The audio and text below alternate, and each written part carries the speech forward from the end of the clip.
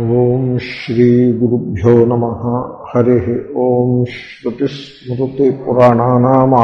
करुणालयं। नमामि भगवत्पादशङ्करं, लोकशङ्करं। विविक्तसेवी लघ्वाशी। यतवाक्कायमानसः। ध्यानयोगपरो नित्यम्। వైరాగ్యం సముపాశ్రిత. సో యతవాక్కాయ మానస.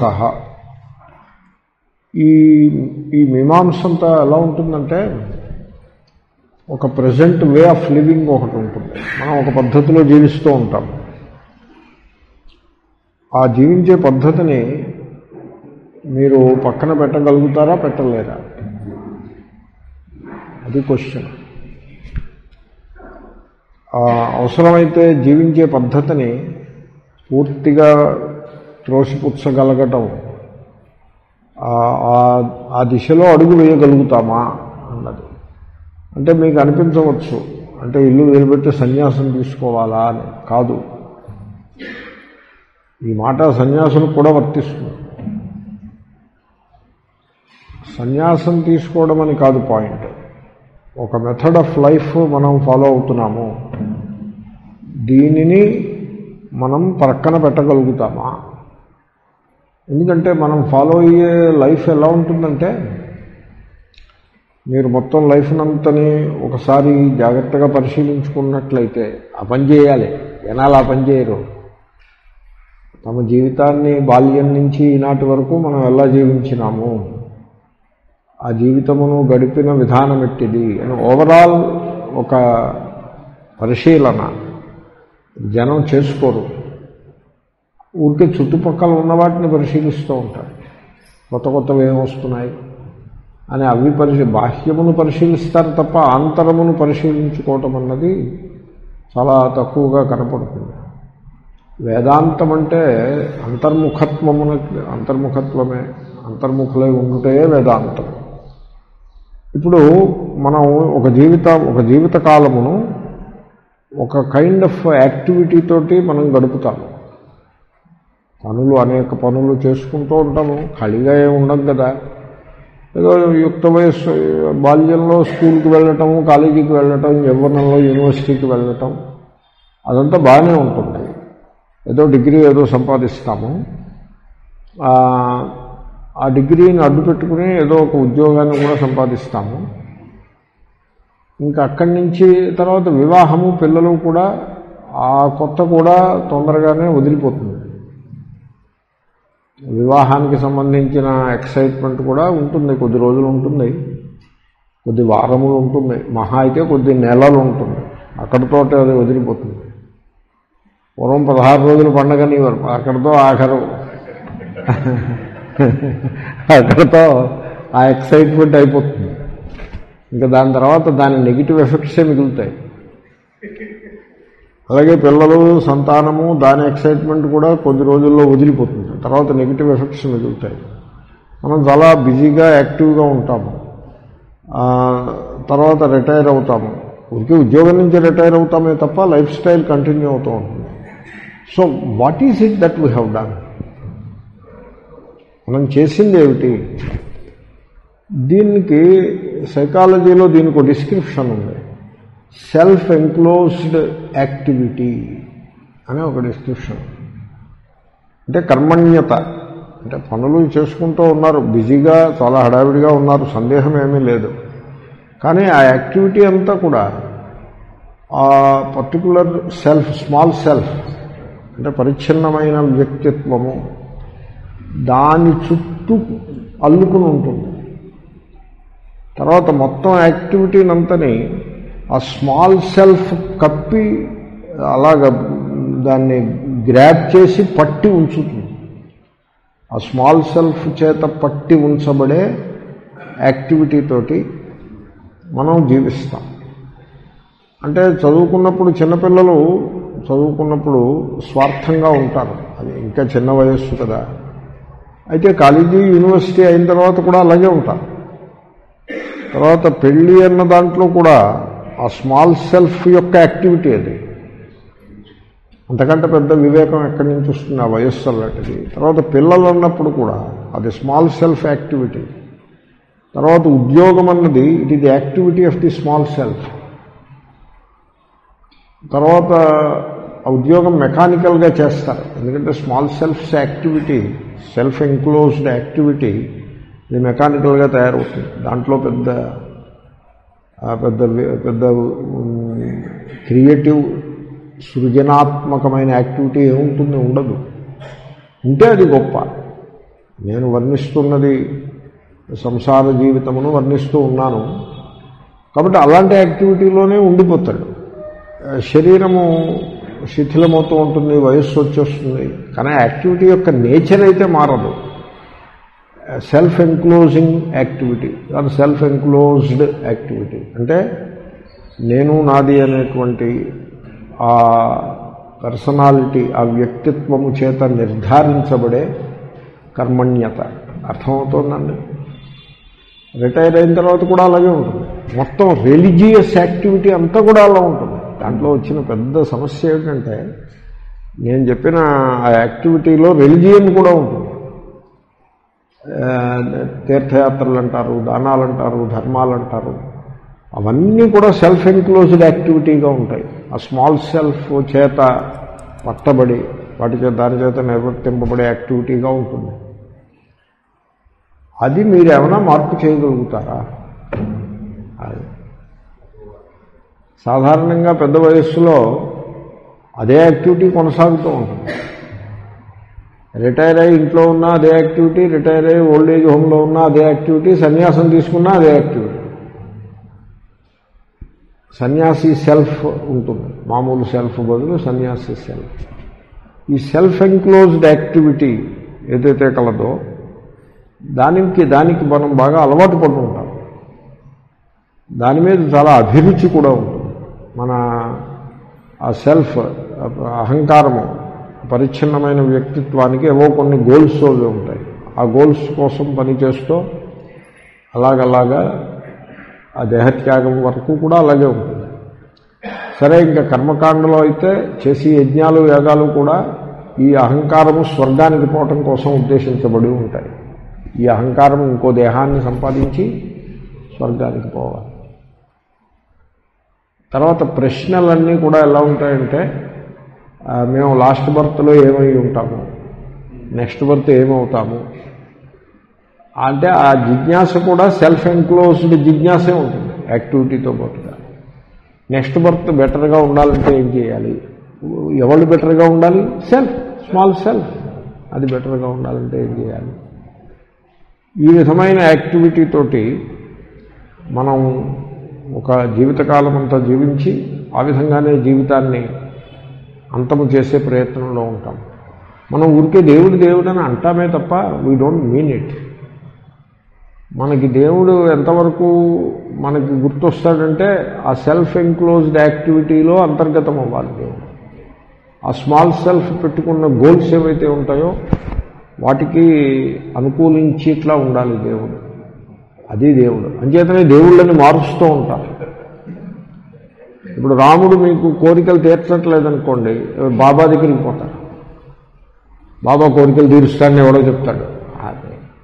అలా తీర్చేస్తారేంటి బాబా అక్కడ కూర్చొని ఏమైనా కోరికలు తీరుస్తాడా అలా చెప్తారు. లోకంలో అలా చెప్పిన వాళ్ళ సంఖ్య బాగా పెరిగిపోయింది. జనం కూడా అటే పరుగులు తీస్తూ ఉంటారు. కాబట్టి ఆ రకమైన లైఫ్ యాటిట్యూడ్ లైఫ్లో యాక్టివ్గా ఉండటం తప్పు కాదు. యాక్టివ్గా ఉండాల్సిందే.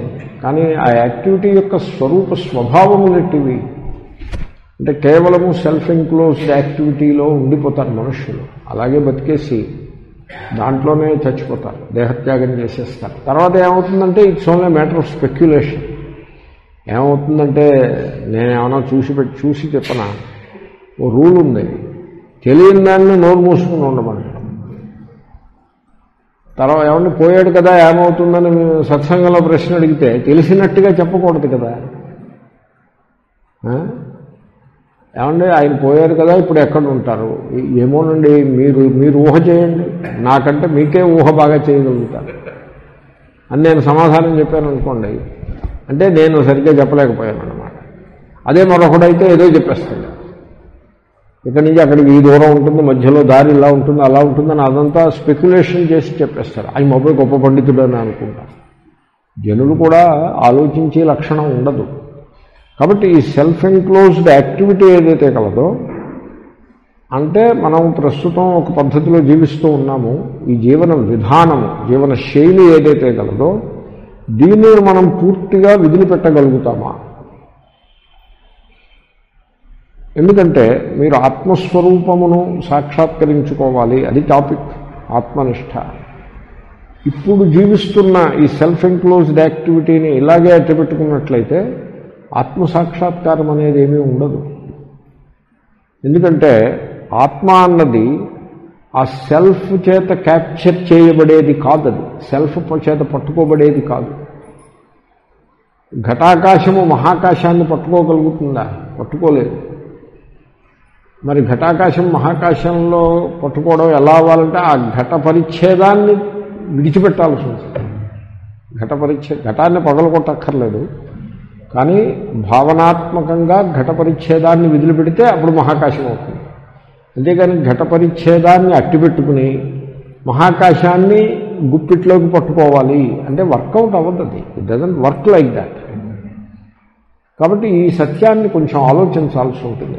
ప్రజెంట్ వే ఆఫ్ లైఫ్ అది అలాగే కొనసాగినంత కాలము ఆత్మ సాక్షాత్కారం అనేది సంభవమవ్వదు. తర్వాత ఒకటి గమనించాలి. ఏమిటంటే ఈ ప్రజెంట్ వే ఆఫ్ లైఫ్ ఏదైతే ఉన్నదో ఈ లైఫ్లో మనము ఆ సెల్ఫ్ ఎంక్లోజ్డ్ యాక్టివిటీని మెయిన్గా పెట్టుకుని బతుకుతూ ఉంటాం. అప్పుడప్పుడు ఏదో చిన్న పెద్ద చిన్న పెద్ద ఉపకారాలు అవి చేస్తాము. ఆ చేసినప్పుడు ఆ చేసిన ఉపకారము చేసిన దానము ధర్మము అది సెల్ఫ్ ఎంక్లోజ్డ్ యాక్టివిటీయా లేకపోతే సెల్ఫ్ని న్యూట్రలైజ్ చేసే యాక్టివిటీయా అన్నది మళ్ళీ గమనించాల్సి ఉంది మీరు నిష్కామ కర్మయోగంగా చేస్తే అది సెల్ఫ్ న్యూట్రలైజింగ్ యాక్టివిటీ అవుతుంది. మీరు మళ్ళీ నిష్కామ కర్మయోగాన్ని పక్కన పెట్టి కర్మ కోరికలు లేకుండా కర్మ ఎలా చేస్తాము ఇటువంటి పిచ్చి ఆర్గ్యుమెంట్లు పెట్టి మళ్ళీ కోరికలు తీర్చుకోవడం కోసమే దాన ధర్మాలు చేసినట్లయితే అది సెల్ఫ్ ఎన్క్లోజ్డ్ యాక్టివిటీలో పడిపోతుంది. కాబట్టి సెల్ఫ్ని న్యూట్రలైజ్ చేసి కర్మణ్యత యాక్టివిటీ కొద్దో గొప్ప మన జీవితంలో ఉండుంటే ఉండి ఉండవచ్చు. కానీ అది చాలా అల్పంగా ఉండి ఈ సెల్ఫ్ ఎన్క్లోజ్డ్ యాక్టివిటీ అధికంగా ఉన్నప్పుడు ఈ ఆత్మసాక్షాత్కారం అనేది దూరంగా ఉండిపోతుంది. కాబట్టి దీంట్లో మార్పు రావాలి. మార్పు ఎప్పుడు వస్తుందో తెలిసిన ఊరికే ఉపన్యాసాల వల్ల రాదు. ఉపన్యాసం వినేసేసి తలకాయ ఊపేసి వెళ్ళిపోతారు. కొంతమంది ఉపన్యాసం అయ్యేదాకా కూడా కూర్చోలేరు. నిప్పుల మీద కూర్చున్నట్టుగా కూర్చుని మధ్యలో లేచక్కపోతారు ఎందుకంటే ఏదో కథ ఏదో చెప్తున్నాడేమో విందామని వస్తారు. ఇలాంటి భాష ఇలాంటి చర్చ మొదలు పెడితే ఇదేదో పిచ్చెత్తినట్టు ఉందని లేచక్కపోతారు ఇంకా అసలు ఇంతసేపు కూర్చుంటున్నారు. మీకు అందరికీ అవార్డులో సర్టిఫికెట్లో ఇవ్వాలి న్యాయంగా. కూర్చుంటున్నాను ఏదో కూర్చుని ఏదో వినేసి లేచకపోతారు. అలా కాదు. లైఫ్ సెల్ఫ్ ఎంక్లోజ్డ్ యాక్టివిటీ తోటి ఉన్న లైఫ్ దాంట్లో మీరు దేన్ని దేన్ని పట్టుకునే ప్రయత్నం చేస్తారో అవన్నీ కోల్పోతారు. ఏది మిగలదు. ఈ బ్యాంక్ అకౌంట్లు ఈ బంగారాలు ఈ వస్త్రాలు ఇవేమీ వాహనములు వస్తువులు ఇవేమి మిగలవు. అన్నీ పోతాయి. ఈ సంబంధములు బాంధవ్యములు అన్నీ కూడా హూష్ కాకి అయిపోతాయి. ఏది మిగలదు. హూష్ కాకి అంటే తెలుసిన? హూష్ అంటే కాకి లేచకపోతుంది అలా అయిపోతాయి ఇవన్నీ కూడా. హూష్ అంటే పెళ్ళం పోతుంది. హూష్ అంటే మొగుడు పోతాడు. హూష్ అనేప్పుడు కొడుకు పోతాడు. అందరూ పోతారు. ఏం మిగలదు. తర్వాత ఈ సెల్ఫ్ ఎంక్లోజ్డ్ యాక్టివిటీ కొనసాగినంత కాలము లైఫ్లో శాంతి అనేది ఉండదు. అశాంతియే ఉంటుంది దుఃఖమే ఉంటుంది ఆదుర్ద టెన్షన్ స్ట్రెస్ అవే ఉంటాయి. కానీ వాటికి మనం అలవాటు పడిపోయి ఉంటాం. దీనికి శ్రీరామకృష్ణ వారు దృష్టాంతం చెప్పేవారు. ఈ చేపలమ్మే వాళ్ళు ఆ చేపల కంపుకు అలవాటు పడిపోయి ఉంటారు. ఆయన ఇంకో కథ కూడా చెప్పారు. ఒక నలుగురు చేపలమ్మే అమ్మలు సిటీ బస్ ఎక్కి మార్కెట్కి వెళ్ళి అంటే సిటీ బస్ అంటే చేపలు ఊరు బయట ఉంటాయి సముద్ర తీరాన. చేపల మార్కెట్ ఊరు మధ్యలో ఉంటుంది. ఈ చేపల బుట్టలన్నీ ఆ బస్సులో వేసుకుని వాళ్ళు మార్కెట్కి తీసుకెళ్తారు. వచ్చేప్పుడు ఖాళీ బుట్టలతో వస్తారు. ఆ బుట్టల పైన చేపల పైన కప్పిన వస్త్రములు ఉంటాయి. ఆ వస్త్రములు చేపల మీద కప్పిన వస్త్రము బుట్టలు ఖాళీ బుట్టలతో వస్తారు. అవే బుట్టలు అవే వస్త్రాన్ని ప్రతిరోజు వాడుతూ ఉంటారు కనుక అవి చేపల కంపు కొడుతూ ఉంటాయి. వచ్చే దారిలో పెద్ద వర్షం వచ్చి వాళ్ళు స్టక్ అయిపోతారు. అక్కడ ఒక ఇలాగా క్యానపీ కింద ఉంటే దాని కింద నిలబడతారు. ఆ ఇంట్లోపల యజమానుడు పెద్ద మనస్సు గల యజమానుడు అతను ఏం చేస్తాడంటే అతనికి చిన్న కొట్టు లాంటిది ఉంటే దాంట్లో మీరు ఈ రాత్రి విశ్రమించండి ఈ రాత్రికి ఇంకా బస్సులో వీలేమని అక్కడ ఉండిపోయి పరిస్థితి వస్తే అతను జాగా ఇస్తాడు ఆ రాత్రి విశ్రమించడానికి ఆ ప్లేసు చాలా సుగంధభరితంగా ఉంటుంది వీళ్ళకి ఇచ్చిన ప్లేసు. ఆ గులాబీ సుగంధము అలాంటి వాటితో నిండి ఉంటుంది. వీళ్ళు అక్కడ నిద్రపోదామని ఏదో వీళ్ళు ఆహారం కూడా ఇస్తాడు. ఆహారం తిని నిద్రపోదామని ప్రయత్నిస్తే నిద్ర పట్టదు. ఆ సుగంధం కారణంగా నిద్ర పట్టదు ఏమిటి నిద్ర పట్టట్లేదు ఏమిటంటే అప్పుడు వాళ్ళలో ఒక పెద్దాది సలహా చెప్తుంది. మనం చేపల కంపుకు అలవాటు పడ్డం ఈ సుగంధం కారణంగా నిద్ర పట్టట్లేదు అని ఆవిడ ఉపాయం చెప్తుంది. మనం ఏం చేద్దామంటే మధ్యలో పడుకుని చుట్టూ ఈ చేపల బుట్టలు పెట్టి కొద్దిగా నీళ్ళు చల్లితే ఆ వస్త్రముల మీద ఆ చేపల వాసన అంతా పైకి వచ్చి అప్పుడు మనం హాయిగా నిద్రపోవచ్చును అని సలహా చెప్తుంది వాళ్ళు అలా చక్కగా నిద్రపోతారు. సంసారులు ఆ విధంగా ఉంటారు. ఆ సెల్ఫ్ ఎంక్లోజ్డ్ యాక్టివిటీకి అలవాటు పడి ఉంటారు. మొత్తం మతమంతా అలాగే ఉంటుంది. మతమంతా. మతమంతా కూడా స్మాల్ సెల్ఫ్ చుట్టూ తిరుగుతూ ఉంటుంది. స్మాల్ సెల్ఫ్ యొక్క గ్రిప్లో ఉంటుంది. పూజ చేసేటంటే స్మాల్ సెల్ఫ్ యొక్క అచీవ్మెంట్ కోసం చేస్తాడు దానికి ఉండే గోల్స్ కోసం చేస్తాడు మొత్తం మతం అంతా అలాగే ఉంటుంది. మామూలుగా టెంపుల్స్లోనూ అక్కడ జరిగే పూజలన్నీ కూడా అలాగే నడుస్తూ ఉంటాయి. ఈ మాట చెప్తే వాళ్ళ కోపం కూడా వస్తుంది. ఈ మాట ఆ టెంపుల్ నిర్వాహకుడు విన్నాడనుకోండి ఏమిటండో ఇలాంటి పాఠాలు చెప్తున్నారు ఏమిటండి అని పైగా దెబ్బలాటకు వస్తాడు కూడా. ఇలాంటి పాఠాలు మీరు చెప్పడానికి వీల్లేదు. మరి ఏ పాఠం చెప్పాలంటే మీరు అందరూ టెంపుల్స్కి వచ్చి మీ కోరికలు తీర్చుకోమని చెప్పాలి పాఠం. అంతేగాని ఇదేం పాఠం ఇది? అని దెబ్బలాటకు కూడా వస్తారు. ఆ సెల్ఫ్ ఎంక్లోజ్డ్ యాక్టివిటీ అంత బలంగా ఉంటుందన్నమాట. సంసారులు దానికి అలవాటు పడిపోయి ఉంటారు దాంట్లో ఉండేటువంటి అంతు అంతము లేని దుఃఖాన్ని గుర్తుపట్టరు. దుఃఖము ఆదుర్ద అశాంతి ఈ సెల్ఫ్ ఎంక్లోజ్డ్ యాక్టివిటీలో ఉంటుంది.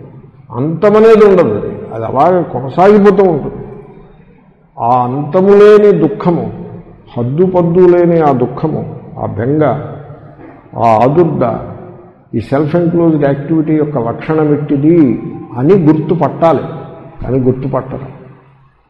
దాంట్లోనే ఉండిపోతారు. దాంట్లోనే ప్రాణాలని విడిచిపెడతారు. ఒకచో మీరు ఆత్మవిమర్శ చేసుకుని ఆ సెల్ఫ్ ఎన్క్లోజ్డ్ యాక్టివిటీలో ఉండేటువంటి దుఃఖము అనంతమైన దుఃఖము అంతులేని దుఃఖము అంతులేని స్ట్రెస్ ఇన్సెక్యూరిటీ అభద్రత భయము వరి బెంగ ఇవన్నీ కూడా యాక్టివిటీ యొక్క లక్షణములు. దీన్ని గుర్తుపట్టి దాని మీద ఒక విప్లవాన్నే తీసుకురావాల్సి ఉంటుంది. ఒక రివోల్ట్ మీరు చేసినట్లయితే ఆ స్మాల్ సెల్ఫ్ని కంప్లీట్గా న్యూట్రలైజ్ చేసి all activity aimed at neutralizing the self ఆ రకమైన ఒక విప్లవాత్మకమైన ప్రవృత్తిని కనుక మీరు చేపట్టినట్లయితే మీకు ఆత్మసాక్షాత్కారము దూరము కాదు. యత వాక్కాయ మానస. అది అర్థం. అర్థమైందండి?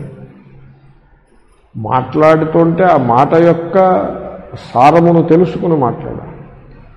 యత ఊరికే పిచ్చెత్తినట్టుగా మాట్లాడడం కాదు. అసలు మాట్లాడనే కూడదు. మాట్లాడితే చాలా యోగ్యమైన పలుకు మాత్రమే పలకాల్సి ఉంటుంది. స్వార్థపూరితమైన సంభాషణ అసలు ఉండనే రాదు.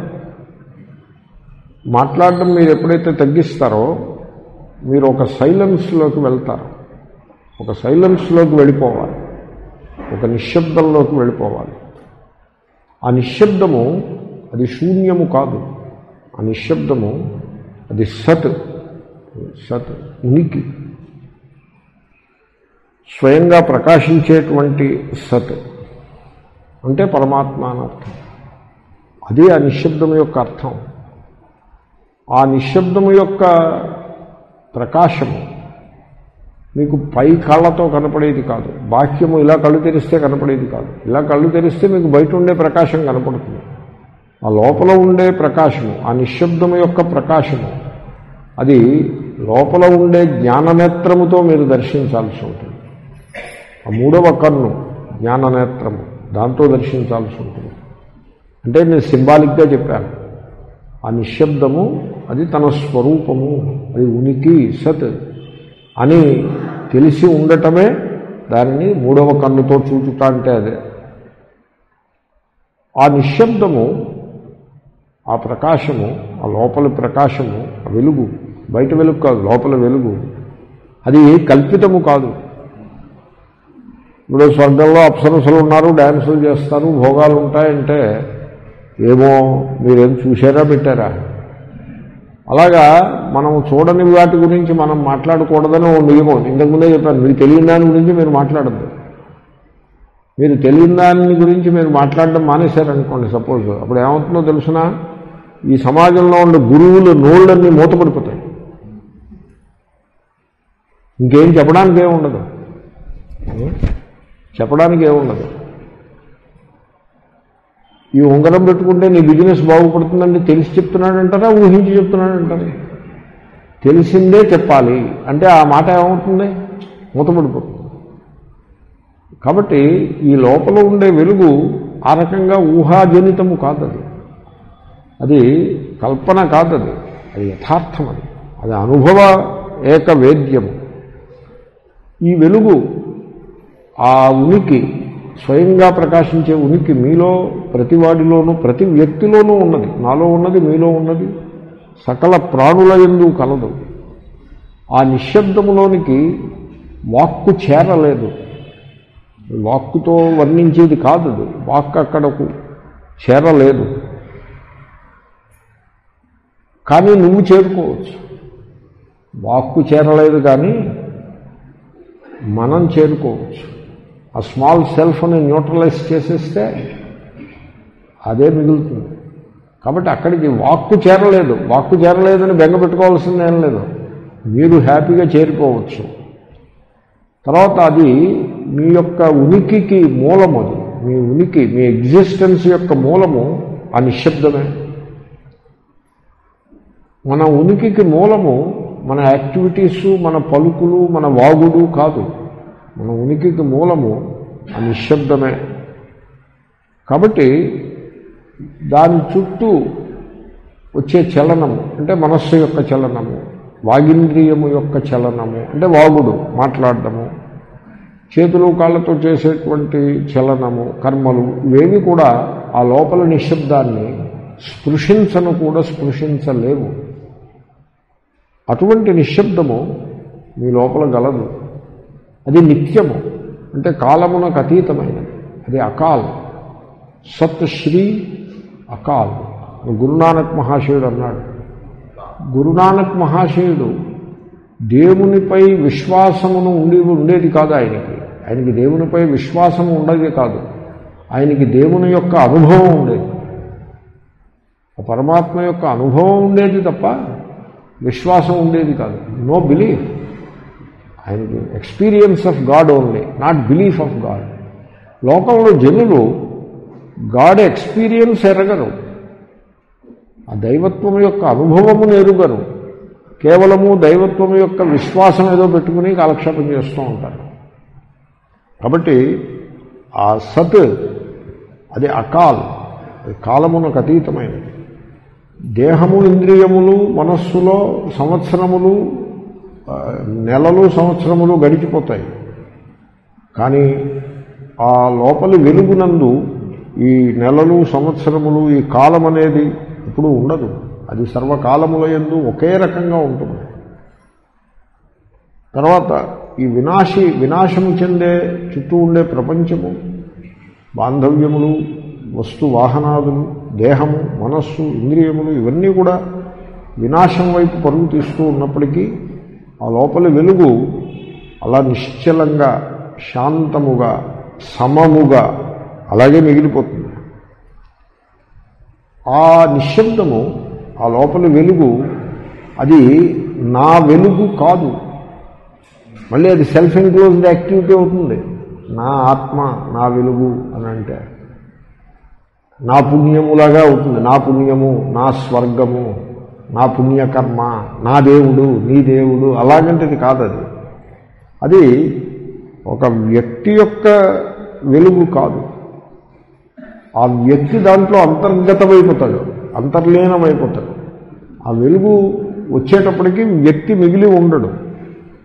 అది మనం బంగారం పెట్టుకున్నట్టో లేకపోతే ఆభరణాలు పెట్టుకున్నట్టో లేకపోతే ఆస్తిపాస్తులను పెట్టుకున్నట్టో మన స్వంతంగా పెట్టుకునేది ఏమీ కాదది అక్కడ అసలు సెల్ఫ్ ఉండదు. ఆ స్మాల్ సెల్ఫ్ ఉండదు. ఆ పరిచ్ఛిన్నమైన వ్యక్తిత్వము ఉండదు. మామూలుగా లోకంలో ఈ ధన కనక వస్తువాహనాదులన్నిటికీ ఈ పరిచ్ఛిన్న వ్యక్తిత్వము నాది అనే భావనతో ఉంటుంది. పుణ్యము కర్మలు దేవుళ్ళు కూడా నాది నా దేవుడు నీ దేవుడు అలాగా. అలా ఉంటుంది. ఇంకే నా దేవుడు అంటారు మా దేవుడు అంటారు. మీరు విన్నారా కుల దైవం? మా కులం యొక్క దైవం. ఎక్కడ మా కుల మీ కులదైవం ఎక్కడుంది? అంటే మా పుట్టిన ఊరు ఎక్కడది? మా పుట్టిన ఊరు తంజావూరు దగ్గర ఉంది లేకపోతే కోయంబత్తూరు దగ్గర ఉంది లేకపోతే చెన్నై దగ్గర లేకపోతే లేకపోతే ఎక్కడో విశాఖపట్నం దగ్గర ఉంది. ఓ పల్లెటూరు.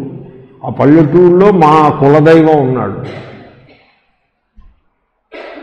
అలాగే నా మా ఆత్మ ఇక్కడ ఉంది? అలాగే ఇది నాట్ లైక్ దాట్. అర్థమైందండి పాయింట్? అంటే మీరు దేవుణ్ణి కూడా సెల్ఫ్ ఎంక్లోజ్డ్ యాక్టివిటీలో పెట్టేస్తారు తీసుకొచ్చి. లోకం అలాగే ఉంటుంది. అర్థం కూడా చేసుకోదు మనం ఇలా చెప్పామనుకోండి వీడంతా ఏదో విడ్డూరంగా మాట్లాడుతున్నారని దెబ్బలాటకు వస్తారు దెబ్బలాటకు వస్తే పర్వాలేదు కొట్టకుండా ఉండేదాన్ని. ఇప్పుడు నడిచి వెళ్తుంటే ఏ మూల పట్టుకుని మొత్తేసి పంపించేస్తే ఇంకా మళ్ళీ మాట్లాడకుండా. They don't do that you are lucky really you cannot say these thing you should not you should not say these thing can you believe it నేను బిలీవ్ చేయలేదు. నేను అనుకున్నా మనం చెప్పచ్చు ఇవన్నీ అనుకున్నా. కానీ నాకు అనుభవం ఏమైందంటే ఇవి చెప్పకూడదు. They should not be told మరి చెప్పకపోతే ఇంక వేదాంతం ఏం మిగిలింది? వేదాంతం నా ఆత్మ నేను నా ఆత్మ అలాగుంటుందా వేదాంతం? కాబట్టి అది మన మనం ఈ వస్తువాహనాదులను పుణ్యము మొదలైన వాటిని పొంది వాటిని పెట్టుకున్నట్టుగా అలా పెట్టుకునేది ఏమీ కాదు. అక్కడ మీరు ఉండరు. మీరు కూడా ఉండరు. ఆ వెలుగే ఉంటుంది. ఆ వెలుగులో మీరు విలీనం అయిపోతారు ఆ వెలుగులో నేను అనే భావన కూడా డిస్టర్బెన్స్ కింద ఉంటుంది. ఆ సైలెన్స్లో నేను అనే ఐడియా కూడా ఇట్స్ ఏ డిస్టర్బెన్స్. నాది అనేది disturbance. Therefore it is not my silence it is pure silence ఆ సైలెన్స్లో అదే సత్యం. అదియే ప్రేమ. అదియే దైవం. అటువంటి నిశ్శబ్దంలోకి మీరు వెళ్ళిపోవాల్సి ఉంటుంది. అంచేతనే యత వాక్ కాయ మానస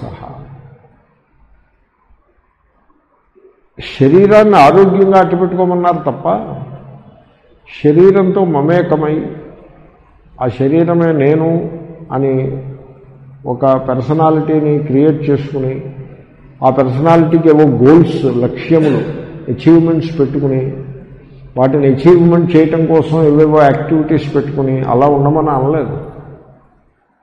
కాబట్టి శరీరమును శరీరముతో తాదాత్మ్యమును చెందినట్లయితే మనిషి శరీరమునకు బానిసయ్యే బతుకుతాడు. ఆ శరీర తాదాత్మ్యము వలన పుట్టే ఒకనొక మాస్క్ ఒక ముసుగు. ఆ ముసుగుని తనదిగా చేసుకుని ఆ ముసుగు లోపల మనిషి బతుకుతూ ఉంటాడు. ముసుగు కాదు ఒక ఒక ఒక ముఖోట ఒక ముఖోట అంటే మాస్క్. దానికి ఏదో తెలుగులో ఏదో పెట్టుకోండి ఒక పరిచ్ఛిన్నం వ్యక్తిత్వం. దాన్ని తనదిగా చేసుకుని మనిషి బతుకుతూ ఉంటాడు. అలా కాదు చేయాల్సింది. చేయాల్సింది ఏమిటంటే దేహ తాదాత్మ్యమును అధిగమించి దేహమును వశము చేసుకుని ముందు తాదాత్మ్యాన్ని అధిగమించకపోతే దేహం వశము కాదు. జనులు ఏం చేస్తారంటే దేహాన్ని ఏం చేస్తారంటే తెలుగులో మరి ఒక ఎక్స్ప్రెషన్ ఉంది. దానికి దేహానికి మప్పుతారు. మప్పుత మప్పుట అని అంటారు. అదొక ఎక్స్ప్రెషను. అంటే దేహమే నేను. దేహమే నేను అంటే ఇప్పుడు దేహమే దేవుడై కూర్చుంది.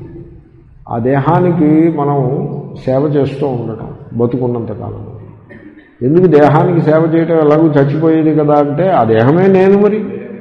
మరి ఇంకా దేహానికి సేవ దేహానికి సేవ చేయటం అంటే నాకు నేను సేవ చేసుకున్నట్టు.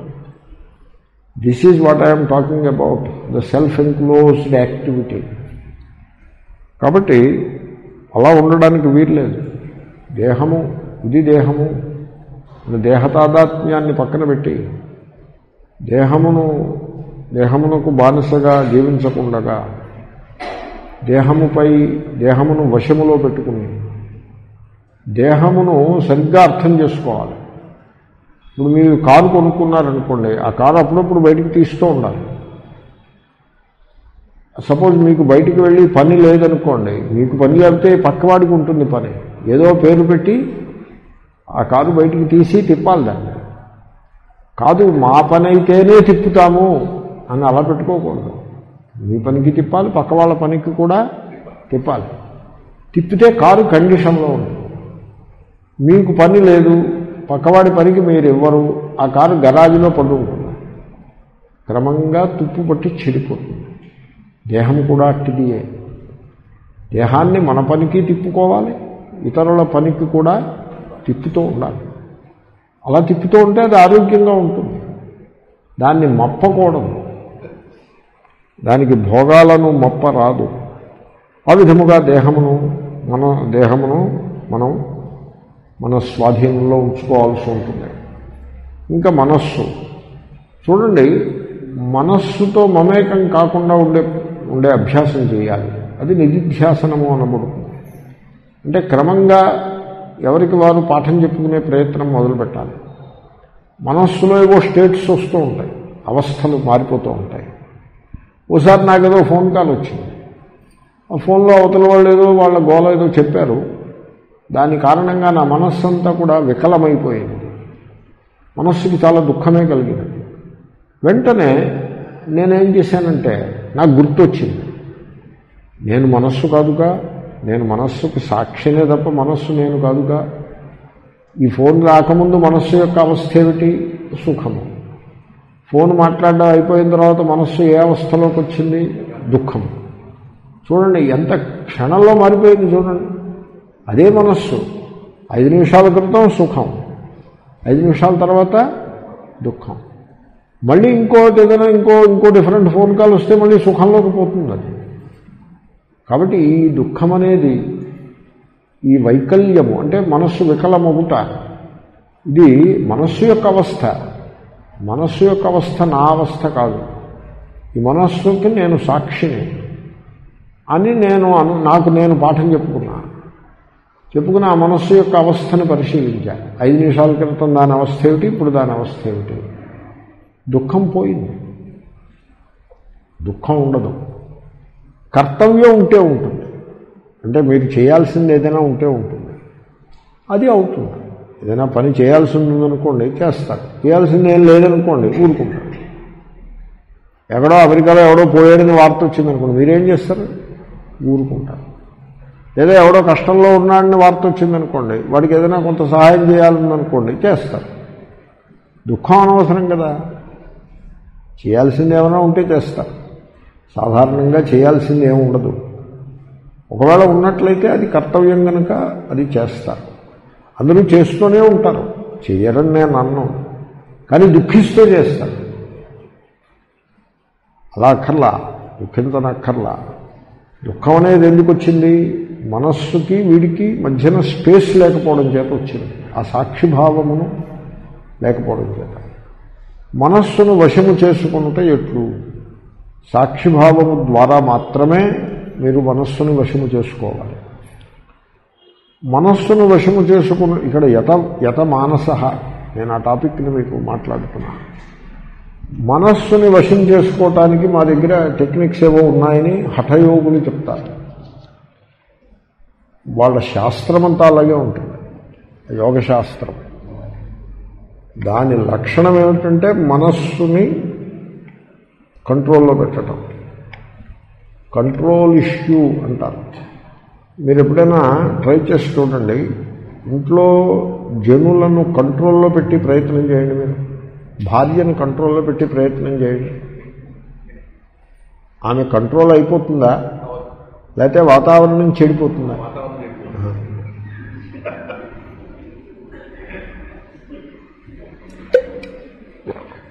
భార్య కాకపోతే భర్త.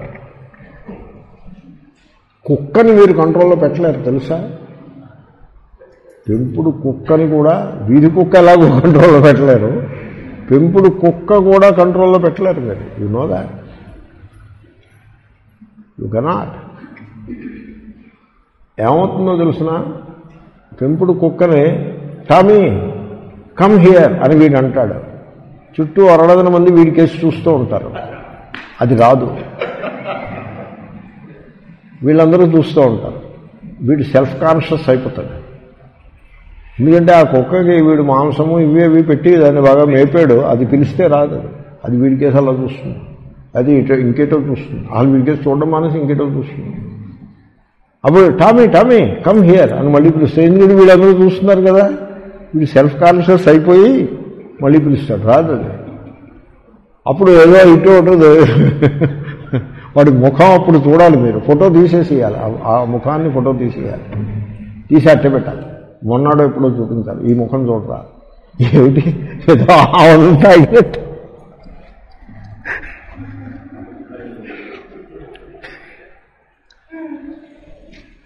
మన వాళ్ళు ఒక శివుని ఆబుదబ్బు తాగినట్టు.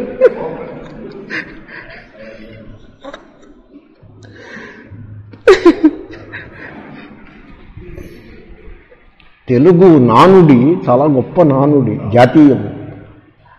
అంటే ముఖంలో క- కళ ఏమీ లేకుండా వాడు విస్తుపోయి ఉన్న సందర్భంలో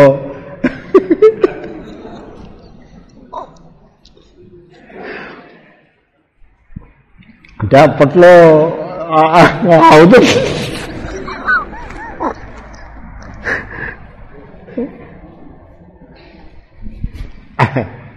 ఈ ఆవదంతా ఆగడం లేదు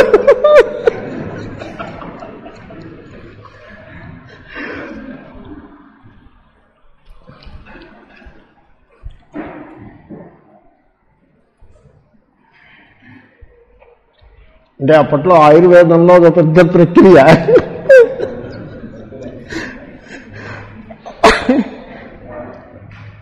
ఇప్పుడు ఆయుర్వేదం వాళ్ళు కూడా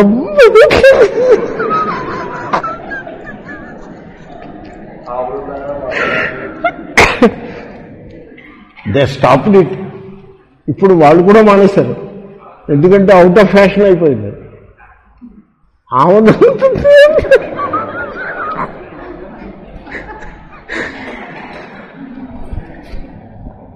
ఇప్పుడు ఏదో ఆయుర్వేదం వాళ్ళు కూడా చెప్పి పూర్వం ఉంది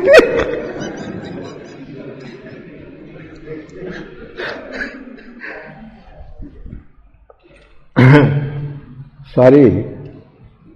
కాబట్టి గ్రామంలో అందరికీ తెలిసేది అది. ఆ- ఆ సామెత అందరికీ తెలుసు. వీడి ముఖం అలా పెట్టుకుంటాడు సెల్ఫ్ కాన్షియస్ కంట్రోల్ చేయకూడదు. కొడుకు పెరిగి పెద్దవాడే అనుకోండి మనం కంట్రోల్ చేయకూడదు. You should not try to control you should not యూహిన్ ఎలా కాదు గోతులో దిగి దిగనేవ్వండి ఒకసారి. ఒకసారి దిగితే నేర్చుకుంటాడు. మీరు చెప్తే నేర్చుకోడు. చెప్తే మీరు కంట్రోల్ చేస్తున్నట్టు అవుతుంది. వాడు రివోల్ట్ చేస్తాడు. వాడంతటా వాడు వెళ్ళి దిగితే వాడి వాడికి అర్థమవుతుంది. కంట్రోల్ చేయకూడదు. ఎవరిని కంట్రోల్ చేయకూడదు. గురువులు కూడా శిష్యుల్ని కంట్రోల్ చేయకూడదు. No need to control just love them and they should grow వాళ్ళు గ్రో అవుతారు. కొంతమంది క్విక్గా గ్రో అవుతారు. కొంతమంది స్లోగా గ్రో అవుతారు. ఇది అప్ టు దెమ్ ఫైనల్గా వాళ్ళకి ఇష్టమేగా వాళ్ళే గ్రో అవ్వాలి కదా. నో కంట్రోల్ కంట్రోల్ ఎప్పుడైతే చేశారో వెంటనే కాన్ఫ్లిక్ట్ వస్తుంది.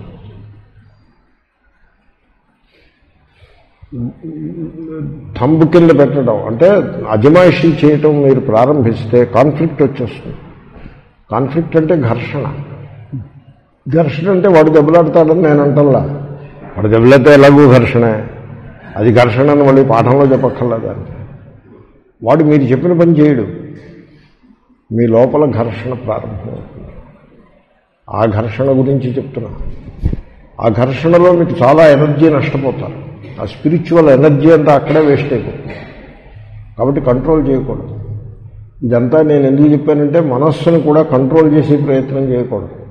You should not try to control it you should watch it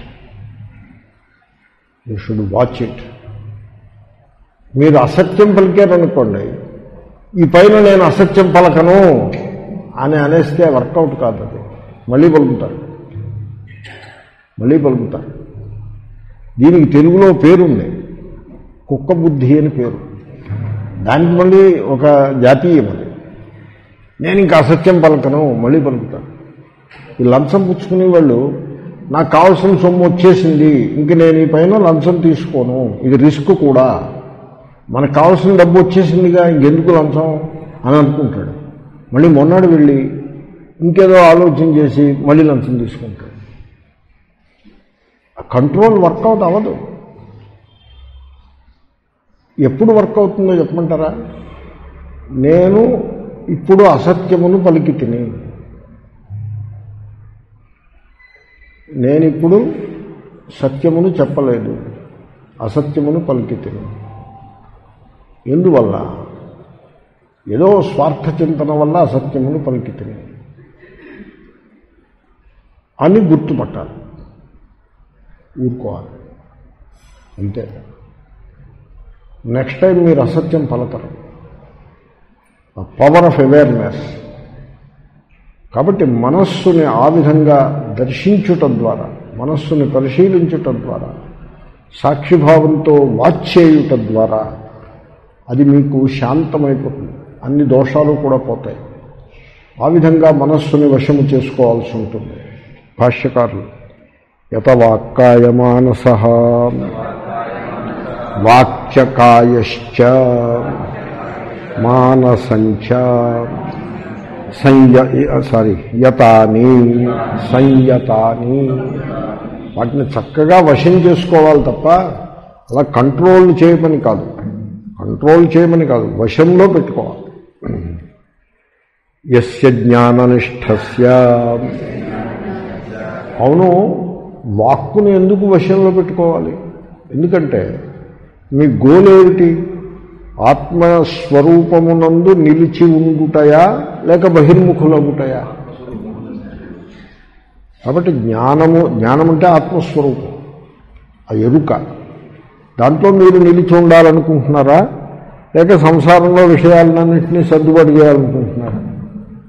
మా గోలు జ్ఞాననిష్ట. మరైతే మీరేం చేయాలి? వాగింద్రియమును కంట్రోల్ చేసే దాన్ని వశంలో పెట్టేసుకోవాలి. అంటే మాట్లాడడం మానేయాలి. మాట్లాడడానికి ఉత్సాహం ఉండదు. అవసరమైన మాటలే మాట్లాడాలి అలాగే కర్మ వ్యగ్రత అంటే too much of attachment to కర్మ ఉండదు. సహజమైన కర్మ అవుతూ ఉంటుంది. సహజం కర్మ కౌంటే. సహజ కర్మ అవుతూ ఉంటుంది. తెచ్చిపెట్టుకున్న కర్మ ఉండదు. ఏవో బాహ్యమునందరి లక్ష్యములు ఈ డబ్బు సంపాదించాలి ఆ భోగాన్ని అనుభవించాలి దానికోసం కర్మని చేయుట అలా ఉన్నది సహజంగా జరిగే కర్మ ఏదో జరుగుతూ ఉంటుంది.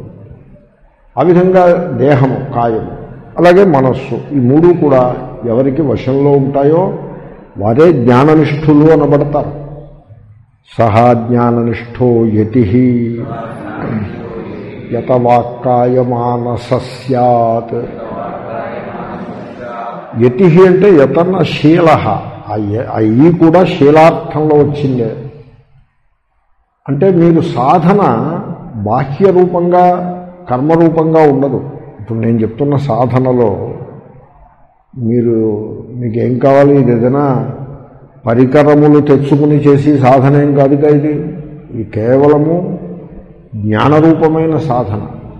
మనస్సును సాక్షిగా చూడాలి. వాగింద్రియము యొక్క ప్రయోగమును చాలా తక్కువగా చేయాలి. రెండు టెలిఫోన్లు చేయాలనుకోండి ఒకటితో సరిపెట్టాడు. వెంట వెంటనే చేయక్కర్లేదు. ఇప్పుడు విజయవాడ వెళ్ళి రైలు ఎక్కాడు అనుకోండి వెళ్తాడు విజయవాడ. ఇంకెక్కడికి వెళ్తాడు? ఎప్పుడు వెళ్తాడు? మామూలుగా ఆరు గంటలు పడుతుంది. రైలు కాబట్టి ఆరు గంటలు లేట్ అయినా అవ్వచ్చు. ఆరున్నర గంటలు. ఏడు గంటలు తీసుకోండి. ఏడు గంటల తర్వాత ఫోన్ చేస్తే సరిపడుతుంది. ఈ లోపల ఫోన్ చేసి ఎక్కడున్నావు అని అడగడం అనవసరం కదా. ఏడు గంటల తర్వాత మాత్రం ఎందుకు? రైల్వే స్టేషన్లో వాడిని పలకరించి మీరు ఏం ఉద్ధరిస్తారు? ఇంటికి వెళ్తాడు. ఇంటికి వెళ్ళాక ఫోన్ చేయొచ్చు. ఇంటికి వెళ్ళాక మాత్రం ఎందుకు? ఇంటికి వెళ్ళి భోజనం చేసి ఏదో పడుకుని ఏదో పని పని ఎప్పుడు చేస్తాడు? రేపు పొద్దున్నే చేస్తాడు. రేపు పొద్దున్నే చేయొచ్చు. రైల్లో ఉండగా ఒకసారి దిగాక ఒకసారి ఇంటికి వెళ్ళాక ఒకసారి రాత్రి ఒకసారి మొన్నటి పొద్దున్న ఒకసారి ఐదు ఫోన్లు అనవసరం కదా. ఐదో ఫోన్ చేసేస్తే పని కరెక్టే కదా? నేను అలా చేస్తూ ఉంటాను ఎందుకు? ఐదు ఫోన్లు ఎందుకు? ఐదో ఫోన్ చేసేది అంతే. ఈ ఐదు ఫోన్లు చేసేవాడిని ఏమనాలి? యాంగ్జైటీ ఆదుర్ద వా వాచాలత్వం అని ఆలోచిస్తాం అలాగే ఇప్పుడు పరీక్షల రిజల్ట్లు వచ్చాయనుకోండి. ఎలా రిజల్ట్ ఏమైంది? మనం ఎందుకు ఫోన్ చేయడం? వాడే చెప్తాడు. ఏమవుతుంది? పాస్ అయితే పాస్ అవుతాడు ఫెయిల్ అయితే ఫెయిల్ అవుతాడు. తెలుస్తుంది. నేను ఒక కుర్రాడిని రిజల్ట్స్ వచ్చాయి. ఆవేళ రిజల్ట్స్ వచ్చాయి ఎంసెట్ రిజల్ట్స్ నేను పేపర్లో చూశాను. ఎంసెట్ రిజల్ట్స్ అని అప్పట్లో పేపర్లో వచ్చేవి. ఆ నెంబరు తెలియదు నాకు. పొద్దున్న ఏడు గంటల పేపర్లో చూశాను. నెంబర్ తెలియదు నాకు. ఈ కుర్రాడు నాకు పదకొండింటికి కనపడ్డాడు. ఎరా నీకు ఎంత ర్యాంక్ వచ్చిందని అడిగా. ఏమో తెలియదు సార్ అన్నాడు. అరే పొద్దున్నే వచ్చే నా ర్యాంకులు నీ ర్యాంక్ నీకు తెలియదా అని అడిగాను కంగారే ఉంది సార్?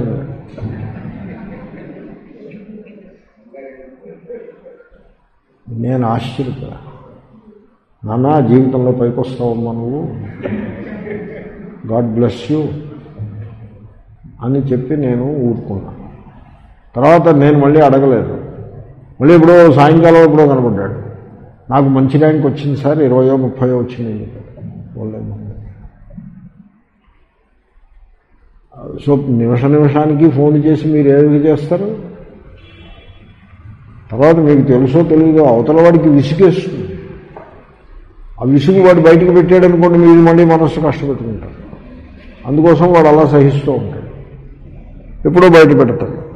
అప్పుడు మీరు మనస్సు కష్టపెట్టుకోవడం తప్పదు. ఇప్పటికే పిచ్చిగా మాట్లాడుకోవడం అలాగా కంట్రోల్ చేసి ప్రయత్నం చేయకూడదు. ఈ మాట్లాడడం ఎందుకు ఎక్కువ అవుతుందంటే మీరు ఈవెంట్స్ని కంట్రోల్ చేయాలని ప్రయత్నం చేస్తారు. ఇప్పుడు ఇక్కడి నుంచి విజయవాడ రైల్లో వెళ్తున్నాడు అనుకోండి దాన్ని మీరు ఏం కంట్రోల్ చేస్తారు మీరు? ఆ రైలు స్పీడ్ని కంట్రోల్ చేస్తారా? లేకపోతే సిగ్నల్ని కంట్రోల్ ఏం కంట్రోల్ చేస్తారు? వాడు పోతాడు వాడే వెళ్తాడు.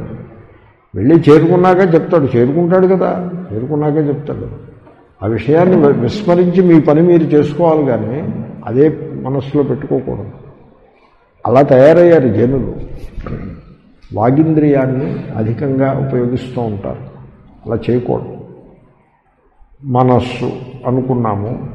అంటే అర్థం ఏంటో తెలుసిన? భాష్యకారులు అంటారు ఏం ఉపరత సర్వకరణ సన్. కరణములనన్నిటినీ విత్డ్రా చేయమంటున్నారు. ఉపరత ఇప్పుడు వయస్సులో ఉన్నప్పుడు కష్టపడి పని చేయటం ఒక శోభ. రిటైర్ అయిపోయిన తర్వాత కూడా అలాగే ఆ లక్ష్యాలు అలాగే పెట్టుకుని గోల్స్ పెట్టుకుని సంసార విషయాలతో సతమతమవుతూ పరుగులు ఎత్తలేక పరిగెత్తాలనే మనస్సు యొక్క ఆదుర్దాన్ని తట్టుకోలేక అలా బతకూడదు విడిడ్రా అయిపోవాలి. నివృత్తి మార్గంలో పడిపోవాలి. అన్ని ఇంద్రియములను ఉపరతి చేసేయమన్నారు. ఉపరతి అంటే విత్డ్రా అన్నీ. అంటే మనస్సు. మనస్సుతోటి ఆలోచనలు చాలా తక్కువ ఉండాలి. ఎక్కువ ఆలోచనలు పెట్టుకోకూడదు. చాలా అనుకున్నాం. ఇంకా మళ్ళీ చాలా చెప్తాను ఆ విషయం. మనస్సులో వచ్చే ఆలోచనలు తక్కువ ఉండాలి. చిన్మయానందజీ అనేవారు ఆలోచనలు క్వా క్వాంటిటీ ఎక్కువైతే క్వాలిటీ పడిపోతుందని ఆలోచనలు తక్కువ ఉంటే వాటి క్వాలిటీ బాగా ఇంప్రూవ్ అవుతుంది అని. అంటే ఆలోచనలు ఎలా ఉండాలి? ఈ దేహము ఇది ఈ ఈ దేహయాత్ర అది ఆ పరమేశ్వరుడు నడిపిస్తూ ఉంటాడు. అదొక ఆలోచన. ఆలోచన వచ్చిందనుకోండి ఈ దేహయాత్రకు సంబంధించిన యాభై ఆలోచనలు కట్టుబడిపోతాయి. ఇంకా దాని గురించి ఆలోచన ఓ యాభై ఆలోచనలు ఆగిపోతాయి. ఇంట్లో వాళ్ళు కుటుంబీకులు అప్పుడు ఇంకో ఆలోచన. ఇది నా కుటుంబమా? దేవుడి కుటుంబం. కుటుంబములన్నీ దేవుడి కుటుంబాలే. దేవుడు త్వమేవ మాతాచ పితా కదండి. దీంట్లో మళ్ళీ నా కుటుంబం అంటూ ఏముంటుంది? కాబట్టి ఆయన కుటుంబాన్ని ఆయనే చూసుకుంటాడు. దీంట్లో నేను చేసేదే ఉంటుంది నేను చేసేది ఏమైనా ఉంటే చేసేస్తాను. దీని గురించి నేను పెద్ద బెంగ పెట్టుకునేది ఏముంటుంది? దేవుడి కుటుంబం ఆయనే రక్షించుకుంటాడు అనే ఆలోచన వచ్చిందనుకోండి వంద ఆలోచనలు కట్టుబడిపోతాయి ఈ ఆలోచనతో. వంద ఆలోచన ఈ ఇది ఏమవుతుందో ఈ పరిస్థితి ఎలా వస్తుందో? ఎలా వస్తుందంటే మనం ఏం చేస్తాం? దేవుడు సృష్టించాడు ఆయనే నడిపిస్తాడు. ప్రపంచాన్ని మీరు నేను నడిపిస్తున్నామా? ఈశ్వరుడు నడిపిస్తున్నాడా? ఈశ్వరుని నడిపిస్తున్నాడు. మనం నడిపించి నడిచే వాళ్ళమే తప్ప నడిపించే వాళ్ళము కాదుగా? కాబట్టి దాని గురించి ఆదుర్దా ఎందుకు అనే ఆలోచన వచ్చిందనుకోండి పాతిక ఆలోచనలు కట్టుబడిపోతాయి ఈ ఒక్క ఆలోచన ఉంది. కాబట్టి క్వాలిటీ ఆఫ్ ఆలోచనలు పెరుగుతుంది. క్వాంటిటీ తగ్గి క్వాలిటీ పెరుగుతుంది. అలా ఆలోచించాలి. ఎప్పుడు కూడా చూసినప్పుడు ఆ చూ ఆ కనబడి దాంట్లో ఈశ్వరుని విభూతిని వినబడి దాంట్లో ఈశ్వరుని విభూతిని సర్వమునందు లోపల బయట సర్వత్రా ఈశ్వరుని విభూతిని భావన చేశారనుకోండి అది ఒకటే ఆలోచన. వంద ఆలోచనలు కట్టుబడిపోతాయి. అవి రావు ఇంకా. ఆలోచనే ఉంటుంది. కాబట్టి ఆ విధముగా వాగింద్రియము కాయము మనస్సు సర్వకరణములను ఉపరతి చేసేమన్నారు మనస్సులో ఆలోచనల సంఖ్య చాలా తక్కువగా ఉంటుంది. ఇది అనుభవానికి వస్తుంది. మీరు ట్రై చేస్తే అనుభవానికి వస్తుంది. ఆ అనుభవం ఎలా ఉంటుందంటే మీకు ఇంచుమించు శాంతంగా ఉంటారు. మీకు అన్నీ తెలుస్తూ ఉంటాయి. అన్నీ తెలుస్తూ ఉంటాయి. అంటే అనుభవం ఎలా ఉంటుందో మీకు చెప్తున్నా. మీకు మీరు సరిపోల్చి చూసుకుంటారు అని చెప్తున్నా. ఇది జీవన శాస్త్రం కదా. ఇది స్పెక్యులేటివ్ ఏం కాదు. ఊహాతి ఊహాజనితము కాదుగా. ఆ అనుభవం ఎలా ఉంటుందంటే మైండ్ ఒక సెటిల్మెంట్కి వచ్చేస్తుంది మైండ్ సెటిల్ అయిపోతుంది. ఇది ఎలాగంటే గాలి వర్షం ఉన్నప్పుడు చెరువు ఎగిరెగిరి పడుతూ ఉంటుంది. కానీ వర్షం తగ్గిపోయి గాలి తగ్గిపోతే చెరువు ఏమవుతుంది? సెటిల్ అయిపోతుంది. మనస్సు అలా అయిపోతుంది. శాంతంగా ఉంటుంది. నడిచేది నడుస్తూ ఉంటుంది. తర్వాత మీకే అనుభవానికి వస్తుంది. పెద్ద ఎక్కువ ఆలోచనలు ఉన్నట్టు ఉండదు.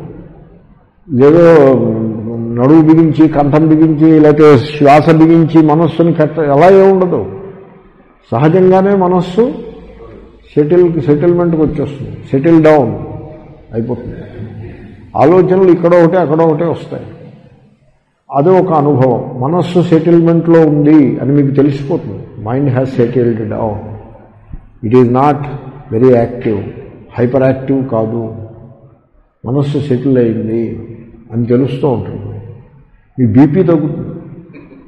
ఎన్నో విషయం చెప్పాను బీపీ తగ్గుతుంది. తర్వాత ఇంకో రకం అనుభవం ఎలా వస్తుందంటే మీరు ఏదో ఒక ఈ దిశలో అడుగు వేస్తున్నారనుకోండి సరిగ్గా అక్కడ ఆటంకం వచ్చిందనుకోండి ఆ పోల్లే అని ఆశీర్వదించి ఇంకో దిశలో వెళ్తారు. కంగారు పడరు. కంగారు ఉండరు. ఏమంటే మీరు ఒకటో తారీఖున అది నాకు పంపిస్తున్నారు కదా అంటే తప్పకుండా పంపించేస్తున్నానండి మీకు ఒకటో తారీఖున వచ్చేస్తుంది. సరే మంచిది. ఈ లోపల ఐదు నిమిషాల తర్వాత మళ్ళీ ఫోన్ చేసి అవండి అది కొంచెం ఆలస్యం అవుతోందండి పదిహేనో తారీఖున పంపిస్తున్నాను. అంటే సరే. అంటాడు అంటే చూడండి మైండ్ ఎంత సెటిల్మెంట్కి వచ్చేసిందో. ఒకటో తారీఖున వస్తుందన్నప్పుడు సంతోషమే పదిహేనో తారీఖున వస్తుందన్నప్పుడు సంతోషం. ఒకప్పుడు సార్ అది వచ్చే సందర్భం లేదండి రాకపోవచ్చు నా పోలండి కానివ్వండి. శుభం. మీరు మీ పని మీరు చూసుకోండి. అప్పుడు అసలు డిస్టర్బెన్స్ ఉండదు. పాజిటివ్ అయినా డిస్టర్బెన్స్ ఉండదు నెగిటివ్ అయినా డిస్టర్బెన్స్ ఉండదు. ఎందుకో తెలుసిన పాజిటివ్ అని మీరు అనుకున్నది పాజిటివ్ కాదు సంసారం అది మిథ్యది.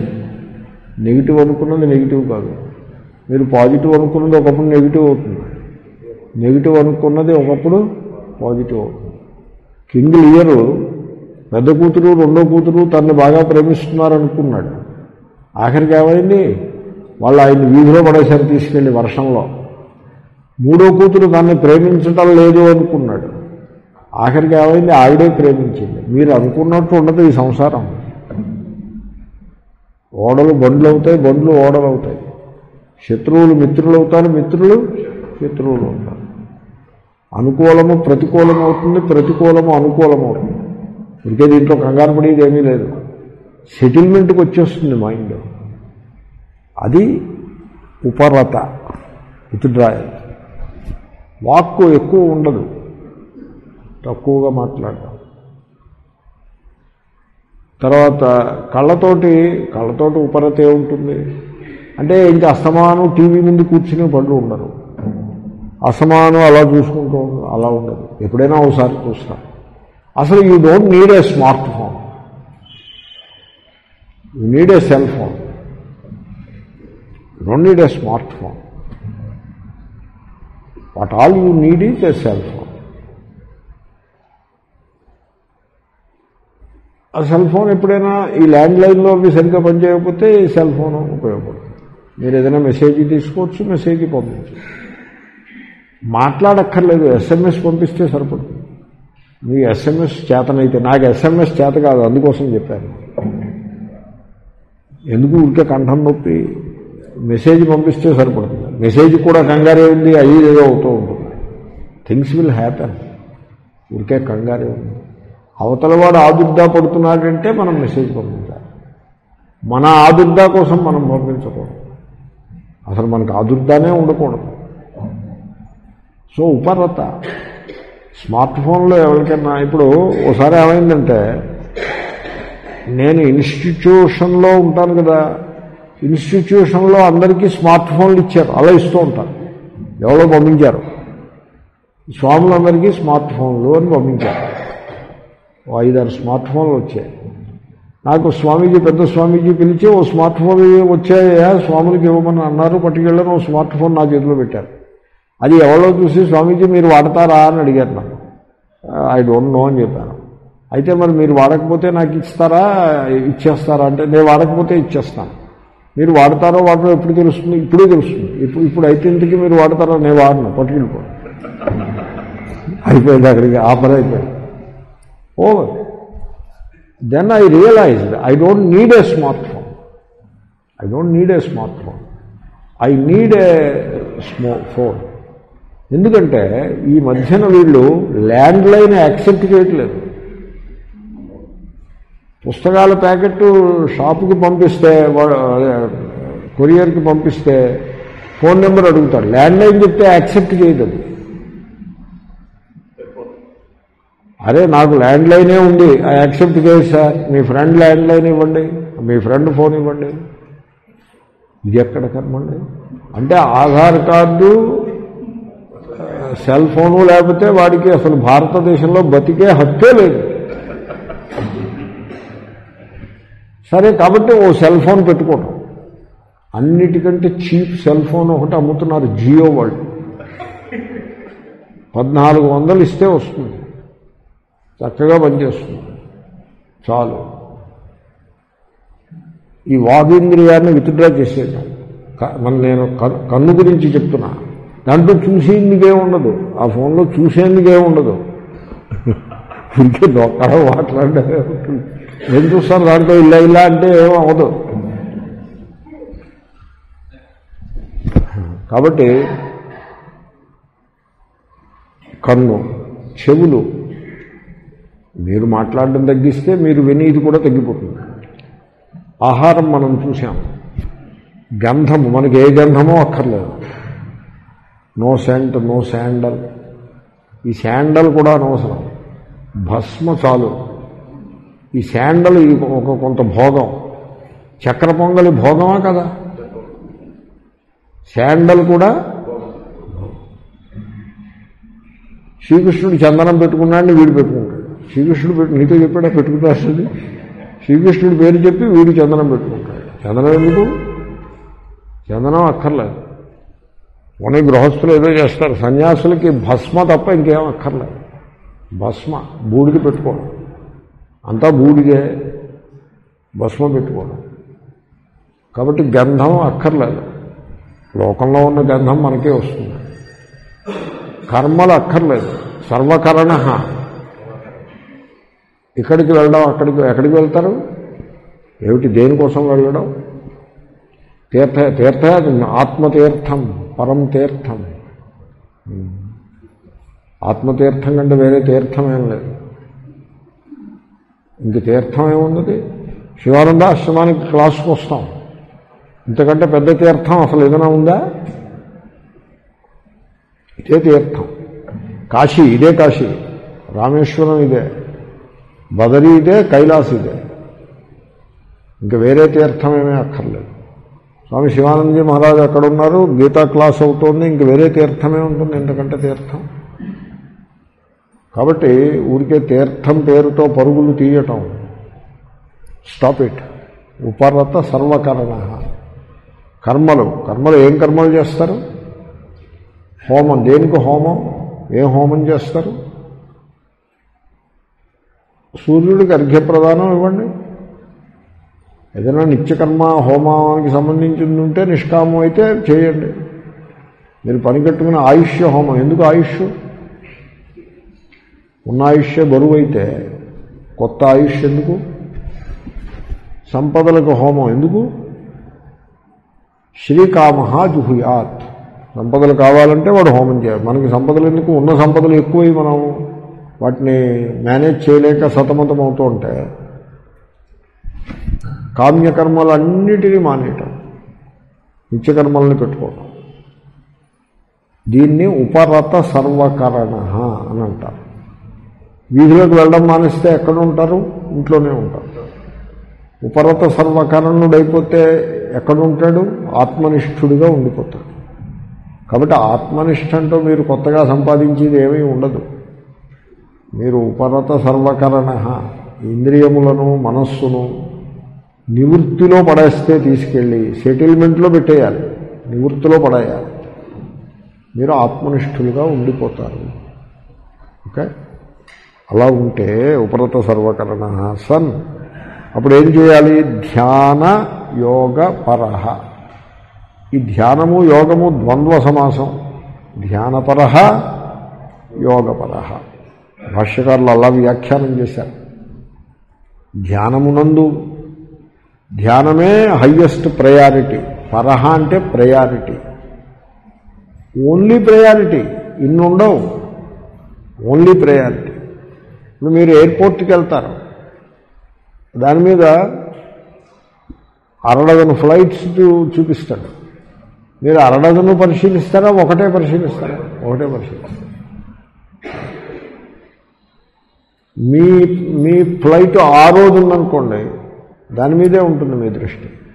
ఈ ఆరోది ఐదుకి వస్తుంది. ఐదు మీదే ఉంటుంది మీ దృష్టి. ఐదు నాలుగుకి వస్తుంది. నాలుగు మీద ఉంటుంది.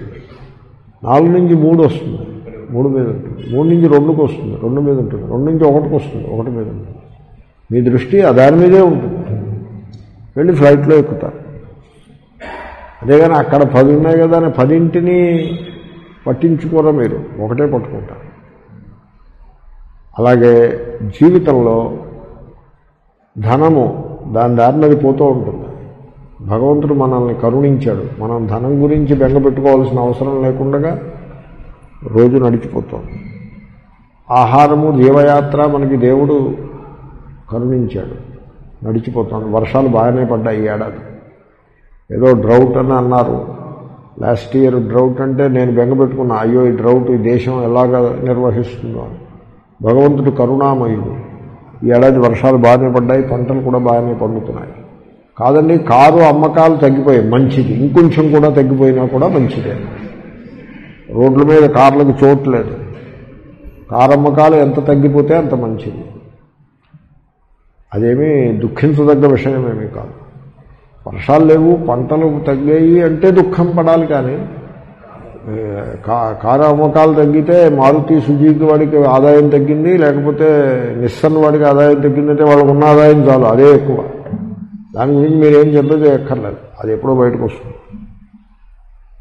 కాబట్టి మనం ఆహారం నిమిత్తం బెంగ పెట్టుకోవాల్సింది లేదు కష్టపడాల్సింది లేదు. ఇక మిగిలినది ఏమిటి ధ్యానము. అవసరమైన నిత్యకర్మలను పూర్తి చేసుకుని కర్మలు కూడా ధ్యానం అయిపోతాయి మీ మనస్సు సెటిల్ అయిపోతే కర్మ ఇప్పుడు సూర్యుడు ఉదయిస్తున్నాడు. మీరు నమస్కారం చేశారు. సూర్య నమస్కారమే చేశారనుకోండి. పన్నెండు స్టెప్పులు సూర్య నమస్కారము చేశారనుకోండి. కాన్షియస్గా చేశారనుకోండి. అంటే గాలి పీల్చుకోవటం. వంగేప్పుడు గాలి విడిచిపెట్టడం మళ్ళీ కాలు వెనక్కి పెట్టేప్పుడు గాలి పీల్చుకోవటం. మళ్ళీ లేచేప్పుడు గాలి విదిలిపెట్టడం అలా కాన్షియస్గా చేశారనుకోండి. ధ్యానమేది? అర్ఘ్యం భక్తితో ప్రేమతో ఇచ్చారనుకోండి ధ్యానమే. ఎవరైనా బిచ్చగాడికి మీరు ప్రేమతో ఏదైనా చేతిలో పెట్టారనుకోండి అది ధ్యానమే. కాబట్టి ధ్యానము ఇక్కడ శంకర్లు ఏమంటున్నారంటే ధ్యానము అంటే ఆత్మస్వరూప చింతనం అని చెప్తున్నారు. లోకంలో ఈ పౌరాణికములైన ధ్యానములను ప్రచారంలో పెట్టి ప్రయత్నం కొంత జరుగుతూ ఉంటుంది. ఆ ప్రచారం చేసేవాళ్ళు అదేదో ఆ- ఘట్టంలో అలా ప్రచారం చేయాలి కాబట్టి చేస్తారే తప్ప అది తాము అనుభవంలోకి తెచ్చుకుని ప్రచారము చేసేదేమీ కాదు. ఏదో అమందానంద సందోహ కంద గోవింద అని ధ్యానం చేయి అంటే అదేదో యమకం అనుప్రాస బాగుందని చెప్పినట్టుంది తప్ప అది దాంట్లో మీరేమి ధ్యానం చేస్తారు? ఏవో అలా ఉంటాయి ఏవో ప్రచారం చేస్తూ ఉంటారు అలాగ కాదు ధ్యానం. ఆ ధ్యానం వల్ల ఒరిగిదేమీ ఉండదు. మీరు ధ్యానం ఎలా చేయాల్సి ఉంటుందంటే కళ్ళు మూసుకుని మీ హృదయంలో ఆ పరమాత్మ యొక్క విభూతి చైతన్యం జ్ఞానం హృదయంలో ప్రకాశిస్తోంది కదా. దానివల్లనే కాళ్ళు నడుస్తున్నాయి చేతులు పట్టుకుంటున్నాయి కళ్ళు చూస్తున్నాయి చెవులు వింటున్నాయి. అది ఆ ఈశ్వర విభూతి ఆ ఈశ్వరుని యొక్క ప్రకాశము నా హృదయంలో జాజ్వల్యమానంగా ఉన్నది అని మీరు భావన చేశారనుకోండి అలా భావన చేయాలి. అది దానికోసం మీరు కల్పనేమి ఊహేమి చేయక్కర్లేదు ఉన్న సత్యం అదే. శ్రవణం వల్ల మనకు అది తెలుస్తూ ఉంటుంది. ఆ మీరు దానికి ఏదైనా ఒక నామాన్ని కూడా జోడించవచ్చు. రామనామాన్ని జోడించవచ్చు. అనే మళ్ళీ రాకారం అక్కర్లా. లేకపోతే ఓం నమ శివాయ మంత్రాన్ని కూడా పెట్టచ్చు. నామం అంటే రామ మంత్రం అంటే ఓం నమ శివాయ. సరళంగా ఉంటుంది. మీరు ఇంతంత పొడుగు మంత్రాలు పెడితే మీరు దాంట్లో విక్షేపంలో పడిపోతారు. ఆత్మస్వరూప చింతనం అంటున్నాం కదా. కాబట్టి ఓం నమ శివాయ అని కానీ రామ అని కానీ హృదయంలో హృదయంలో హెడ్లో కాదు ఆ పరమా పరమాత్మ యొక్క విభూతి మీరు అనుభవానికి తెచ్చుకోవచ్చు. దాంట్లో కష్టమే ఉన్నది. మీరేమీ ఊహ చేయనక్కర్లేదు. ఆ విభూతి అక్కడ అనుభవానికి వస్తూ ఉంటుంది. దానివల్లనే చూడగలుగుతున్నాము. దానివల్లనే వినగలుగుతున్నాము. నేను మాట్లాడుతున్నది దానివల్లనే మీరు వింటున్నది దానివల్లనే. దీంట్లో పరోక్షమేమీ లేదు. అది ప్రత్యక్షము డైరెక్ట్ పెర్సెప్షన్. ఆ విధంగా మీరు ఎప్పుడైతే భావన చేస్తారో చిత్రం ఏమవుతుందో చెప్పమంటారా? దేహాభిమానం ఉండదు. దేహము యొక్క హద్దులు కూడా ఉండవు. అప్పుడు మీకు లోపల బయట అదే మహాశక్తి ప్రకాశిస్తూ ఉందనే అనుభవం కలుగుతుంది. లోపల బయట అనే బ్యారియర్ పోతుంది. కాబట్టి ముందు లోపల దేవుడు ఉన్నాడనుకుని తర్వాత బయట ఉన్నాడని అనుకోనక్కర్లా. మీరు లోపల ఉన్న దేవుణ్ణి దర్శిస్తూ ఉండగానే మీకు సర్వ సర్వమును వ్యాపించి ఉన్న దేవుడు మీకు అనుభవానికి వస్తాడు.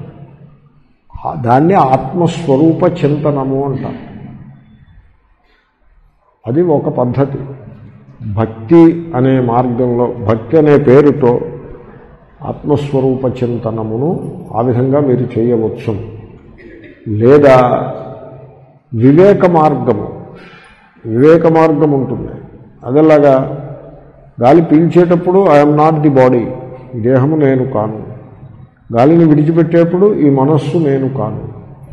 అది కూడా ఆరంభంలోనే టు బిగిన్ విత్ ఎందుకంటే కొంత కాలం అయ్యేటప్పటికీ దేహముపై మనస్సుపై తాదాత్మ్యము సడలుతుంది. ఆ తర్వాత ఇంకా ఈ దేహము నేను కాను ఈ మనస్సు నేను కాను అని చెప్పవలసిన అవసరం తగ్గిపోతుంది. కానీ ముందు అవసరం. అది నిషేధ రూపముగా వివేకపూర్వకమైన అభ్యాసం దాన్ని కూడా ఆత్మస్వరూప చింతనము అని అంటారు. రెండు ఒకటి రెండు చెప్తున్నా రెండు చెప్పారు మూడవది మూడవది ఎలాగంటే నేను అనే అనుభవము.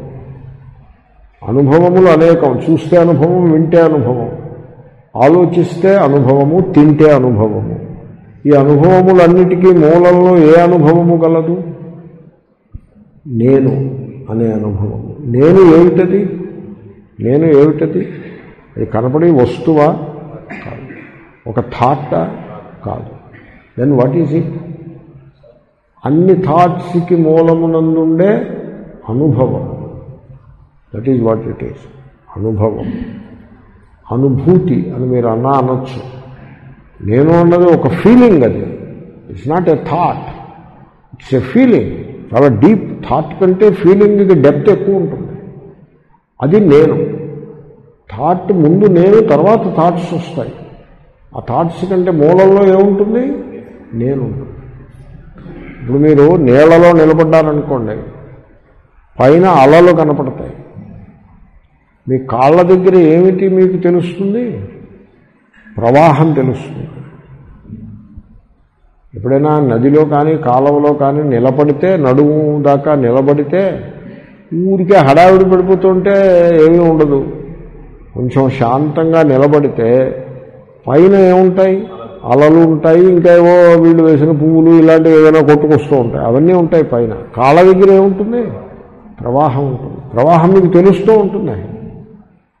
అది ఆ కంటికి కనపడుతుంది తెలుస్తూ ఉంటుంది. అలాగే నేను అన్నది కాళ్ళ దగ్గర అనుభవానికి వచ్చే ప్రవాహము వంటిది. అది లోపల మీకు ఉంటుంది అనుభవ రూపంగా ఉంటుంది. మిగతావన్నీ పై పైన ఉంటాయి. ఆ నేనుని పట్టుకుని అహమస్మి నేను అని నేను రూపముగా ఉండుట. దాన్ని ఆత్మస్వరూప చింతనము అని అంటారు. మూడవది ఇవన్నీ చాలా సరళంగా ఉంటాయి. మీకు కష్టమేం కాదు. నేనైతే మీరు అన్నీ పట్టుకోమని చెప్తాను. ఎందుకంటే వెరైటీ ఉంటే కూడా మంచిది. ఒకటే అయితే మెకానికల్ అయ్యే అవకాశం ఉంటుంది దీంట్లో ఇంకా మెకానికల్ అయ్యే ప్రమాదం కూడా ఏముండదు అది మూడవది. ఇంకా నాలుగవది. హూ ఏమై నేను ఎవరు? మీరు నేను ఎవరు అనే ప్రశ్నని మీరు వేసుకోవాలంటే మీ లోపల చాలా సిన్సిరిటీ ఉండాలి. మీరు మెకానికల్గా నేను ఎవరో ఆయన చెప్పారు కాబట్టి నేను వేసుకుంటానంటే వర్కౌట్ కాదు. నేను ఎవరో మీకు నిశ్చయంగా ఉన్నప్పుడు ఇంక ప్రశ్న ఎందుకు? నేను ఎవరు? ఎందుకండి ప్రశ్న? ఎందుకంటే నేను ఎవరో నాకు తెలుస్తూనే ఉంది. ఏమిటి మీరు ఎవరు? నేను ఈవిడికి మొగుణ్ణి వాడికి తండ్రిని ఆ ఆఫీసర్ని ఇంకా వాడికి నేను ఎవరు? ప్రశ్నే ఉంది. నేను సన్యాసిని గురువుని ఇంక నేను ఎవరు ప్రశ్నే ఉంది. It it amounts to a kind of hypocrisy నేను ఎవరో నేను నిశ్చయం చేసేసుకుని రమణ మహర్షి చెప్పాడు కాబట్టి నేను ఎవరు అంటున్నాను. అంటే అది అది కాంట్రడిక్టరీగా లేదు. ఏమంటే మీరు ఎవరండి? నేను ఫలానా నేను ఫలానా ఫలానా ఫలానా. ఇప్పుడు ఏం చేస్తున్నారండి? నేను ఎవరు మెడిటేషన్ చేస్తున్నాను? ఎలా ఉంది అది? కాంట్రడిక్షన్గా లేదు. మీకు నిశ్చయ జ్ఞానం ఉండాలి. ఏమిటి? ఇవన్నీ కూడా మనం పెట్టుకున్న ముఖోటాలు మాస్కులు ఇవన్నీ. ఇవన్నీ ముసుగులు. మన స్వరూపం కాదు. ఈ పేర్లు ఇవన్నీ కూడా నామరూపాలన్నీ కూడా ముసుగే. అది మన స్వరూపం కాదు. ఊరికే భార్యాభర్త కొడుకు తండ్రి ఇవేవో ఉంటాయి అలాగా. ఆ సమాజ జీవనంలో భాగంగా ఉంటాయి. అవి యథార్థం కాదు. అవి లేనప్పుడు కూడా మీరు ఉండేవారు అవి పోయిన తర్వాత కూడా మీరు ఉంటారు మీ స్వరూపం కాదు. ఆ విధమైన నిశ్చయం ఉండాలి. నేను గమనించింది ఏమిటంటే వేదాంతం చదువుతారు తప్ప ఈ ఫండమెంటల్స్ని షేక్ చేయరు. మీరు ఫండమెంటల్స్ని షేక్ చేయాలి. ఫండమెంటల్స్ని ఎవడైనా షేక్ చేస్తుంటే వాడి మీద యుద్ధానికి వెళ్తారు. ఇది చూసారా వాళ్ళు ఈ విడ్డూరం చూడండి. ఫండమెంటల్స్ని షేక్ చేయాలి. అంటే వేదాంత క్లాసుకి రాకముందు నేను ఫలానా నేను ఫలానా అనే అభిప్రాయం మీకు ఉన్నప్పటికీ వేదాంత క్లాస్ నుంచి వెనక్కి పోతుంటే ఈ నేను ఫలానా అనేది ఇది గడబడేది సరికాదని మీకు అది అనుభవానికి రావాలి. You to look at it అప్పుడు నేను ఎవరు? అనే మెడిటేషన్కి ఒక నూతనత్వం వస్తుంది. ఒక డెప్త్ వస్తుంది దానికి. నేను సన్యాసిని గురువును అన్న తర్వాత ఇంక నేను ఎవరు మెడిటేషన్ హ్యాజ్ నో వాల్యూ అది సమ్ కైండ్ ఆఫ్ కాంట్రడిక్షన్ కింద ఏదో మెంటల్ గేమ్ కింద ఉంటుంది. No value sannyasa is is context your ఇదేదో భిక్ష కోసం పెట్టుకున్న తప్ప అది స్వరూపంలో భాగం కాదు. అత్యాశ్రమిగా ఉండాలి. ఒక ఆశ్రమానికి కట్టుబడి ఉండేది కాదు ఆత్మ. తర్వాత నేను గురువును గురువు అంటూ ఎవరు ఉండరు. గురువు శిష్యాది ఊరికే ఉపదేశం నిమిత్తం పెట్టుకున్న కాంటెక్స్ట్ ఇప్పుడు మీరు షాప్కి వెళ్ళారనుకోండి ఆయన మర్చెంట్ మీరు మీరు కస్టమరు ఎంతసేపు ఉంటున్నది వాడు మీకు మీ ముఖం మీద కస్టమర్ అని స్టాంప్ వేసి పంపిస్తానంటే ఒప్పుకుంటారా మీరు? ఓ స్టాంప్ ఒకటి పెట్టుకుని వేసి పంపిస్తానంటే ఒప్పుకుంటారా? కస్టమర్ అని స్టాంప్ వేస్తానంటే ఒప్పుకుంటారా? ఒప్పుకోరు ఒకసారి నేను ఎక్కడికో బహామాస్కో ఎక్కడికో వెళ్ళాను. లెక్చర్స్ లెక్చర్ చెప్పడానికి. వాళ్ళు నాకు హోటల్లో రూమ్ బుక్ చేశారు. జనరల్గా హోటల్లో రూమ్ ఇష్టపడం ఫస్ట్ ప్రయారిటీ ఏదైనా ఆశ్రమం ఉంటే ఏదో రామకృష్ణ ఆశ్రమం మరొకటో మరొకటో ఏదో ఆశ్రమం ఉంటే అక్కడ కూర్చోవడం వెళ్ళి వాళ్ళు పెట్టింది తిని. అది లేకపోతే ఎవరైనా ఇంట్లో వాళ్ళ రూము ఒకటి ఖాళీ ఉంటే ఆ గృహస్థు ఇంట్లో పడి ఉండడం. Hotel last priority. సరే హోటల్లో రూమ్ బుక్ చేశాను నేను నేను నా ఐడెంటిటీ కార్డు చూపిస్తే వాడు చేయి చేయందుకురా అంటే ఓ బెల్ట్ ఒకటి వేసాడు చేతికి. నేనన్నా నాకు అక్కర్లేదు ఐ డోంట్ ఒక రింగ్ వేస్తాడు. లేబుల్ అది రింగ్ వేస్తాడు. దాని మీద ఆ హోటల్ చిహ్నము అది ఉంటుంది. No no I don't want it no no you should have it no నాకు అక్కర్లేదా అదే ఇదే ఇదే ఎక్కడ పిచ్చి? నేను డబ్బులు కట్టాను రూమ్లో ఉంటాను మళ్ళీ ఇదేమిటంటే కాదండి మాకు లోపలికి వచ్చేప్పుడు వెళ్ళేప్పుడు ఆ వాచ్మన్ అదే చూసుకుంటాడు అది మీరు పెట్టుకు తీరాల్సిందే అని ఆ అమ్మాయి వచ్చి నా చేతికి అది పెట్టి వెళ్ళిపోయింది. అది ఊడదు కూడా. అది ఇంకా హోటల్ ఖాళీ చేసినప్పుడు కత్తి కత్తిరితో కట్ చేసి వాళ్ళే పంపిస్తారు. ఇది ఎలా అవుతుంది? చాలా అధ్వానంగా లేదు. అలాగే మీరు షాప్కి వెళ్ళిన వెంటనే కస్టమర్ అని ఒక స్టాంప్ వేసి పంపిస్తే మీకు ఎలా ఉంటుంది? అలా చేస్తే ఒప్పుకుంటారా? అయితే మీకు ఇప్పుడు అందరికీ కూడా శిష్య అని స్టాంప్ వేస్తాను నేను. ఒప్పుకుంటారా మీరు? ఇలాంటి స్టాంపులు అనవసరం. అది ఊరికే తత్కాలమునందు ఒక సందర్భానుసారంగా చెప్పిన మాట. కాబట్టి గురువు లేడు నా గురువు నా శిష్య శంకరుడు కాబట్టి ఇప్పుడు ఇంతకీ నేను ఎవరు నేను ఏమిటంటారు? You should come to that level what a my మీరేమో తండ్రి కాదన్నారు కొడుకు కాదన్నారు మనిషి కాదన్నారు పశువు కాదన్నారు బ్రాహ్మణుడు కాదన్నారు వైశ్యుడు కాదన్నారు తెలంగాణ కాదన్నారు పంజాబీ కాదన్నారు మద్రాసు కాదన్నారు సైన్య సన్యాసి కాదన్నారు గృహస్థు కాదన్నారు తండ్రి కాదన్నారు కొడుకు కాదన్నారు ఏమిటి నేను? What am I are you serious about it if you are serious that is meditation if you are serious serious అంటే మీరు గ్రంపీగా తయారవ్వాలన్న నా అభిప్రాయం కాదు eager I earnest are you sure about it yeah I'm I'm sure I don't know who am I want to know who am I then who am I meditation it will do wonders I మీకు ఏదైనా దుఃఖం ఉందనుకోండి దుఃఖం ఎక్కడి నుంచి వస్తుందో తెలిసిన? నేను ఫలానా అనే దాని నుంచి వస్తుంది. మీరు హూయామై అని అన్నారనుకోండి దుఃఖం పోతుంది. హూయామై ప్రశ్న మిగులుతుంది. ఆ ప్రశ్నకి ఉన్న బలము పవరు అనంతం. ఇట్ ఈజ్ ఎ మెడిటేషన్ ఆత్మస్వరూప చింతనం. నాలుగు. నాలుగు రకాలు చెప్పాను. ఊరికే ముఖ్యంగా ప్రధానమైన నాలుగు చెప్పాను. నాలుగే కాదు నాలాభై ఉంటాయి. గైడెడ్ మెడిటేషన్ అంతా ఇదే ధోరణిలో పోతూ ఉంటుంది. మీకు గైడెడ్ మెడిటేషన్స్ ఉన్నాయి.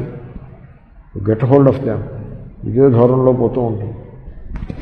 మన కాకినాడ మిత్రులు hundred and eight guided meditations పోవేసి పెట్టారు తెలుగులో. అది ఎక్కడో ఉందది. హండ్రెడ్ అండ్ ఎయిట్ వాళ్ళ ఎఫర్ట్ చూడండి.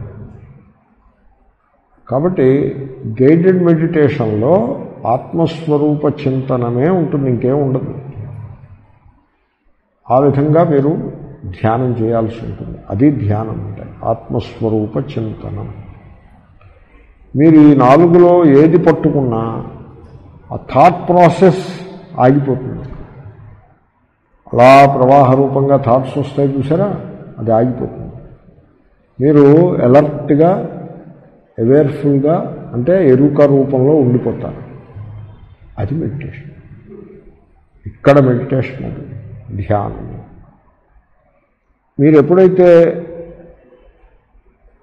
ఆ థాట్ ప్రాసెస్ని ఈ విధంగా ఒక కొలిక్కి తీసుకొస్తారో లేదా నీళ్ళలో కాలవలో నిలబడి ఉన్నవాడు కాలవని వదిలిపెట్టి గట్టి మీదకి వచ్చి నిలబడి కాలవ కేసు చూసినట్టుగా ఆ ప్రవాహ రూపంగా ఉండే సంకల్పములను విడిచిపెట్టి అంటే వాటితో మమేకమవటం మానివేసి సాక్షిగా వాటిని దర్శించుట. దట్ ఈజ్ మెడిటేషన్ అలా సాక్షిభావంలో నిలిచి ఉండుట కూడా ఆత్మస్వరూప చింతనమే అవుతుంది. ఐదవది. ఐదవది. ఆత్మ అసంగము అన్నారు. నాకేమో సంగము అనుభవానికి వస్తోంది. ఎందువల్ల? ఏ విధంగా సంగము? అని కనుక మీరు పరిశీలనకి పెడితే దట్ ఈజ్ ఆత్మస్వరూప చింతనం